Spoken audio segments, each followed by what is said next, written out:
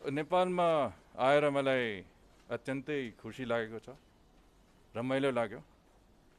म पहिला पनि काठमाडौँ आएको छु तर फरेन सेक्रेटरीको रूपमा प्रथम भिजिट हो मेरो। भारत र नेपाल निकटतम मित्र हो। मेरो निकै मिटिङ हुन्छ आज।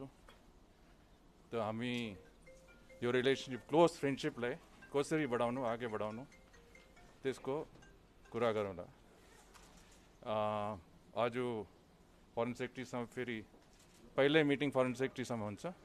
त्यहाँदेखि फरेन मिनिस्टर प्रदीप राज प्रदीप कुमार गेवालीज्यूसँग भेट हुन्छ। अरू हाई डिग्निट्रिजहरूसँग पनि भेट हुन्छ होला। तपाईँहरूलाई त प्रोग्राम थाहा छ। भोलि म भारत नेपाल मैत्रीको विषयमा टक दिन्छु। त्यो भर्चुअल हुन्छ। So everybody can access it म गोर्खा सहरमा पनि जान्छु भोलि। त्यहाँ चाहिँ भूगोल भएर हाम्रो निकै डेभलपमेन्ट एसिस्टेन्स नेपालमा हामीले डाइभर्ट गरेको थियौँ। गोर्खामा पचास हजार घर बनाउने हाम्रो कमिटमेन्ट थियो प्रधानमन्त्री मोदीको। चालिस हजार घर बनिसकेको छ। हाम्रो फोकस एजुकेसनमा पनि छ।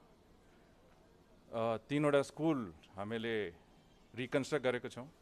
त्यो चाहिँ भोलि इनोग्रेट हुन्छ। र मनाङ डिस्ट्रिक्टमा एउटा गुम्पा बुद्धिस्ट मोनेस्ट्री पनि हामी रेनोभेट गरेको छौँ। त्यो पनि भोलि इनोग्रेट हुन्छ। त निकै एक्सटेन्सिभ प्रोग्राम छ। तपाईँहरूलाई सूचना दिँदै गरौँला।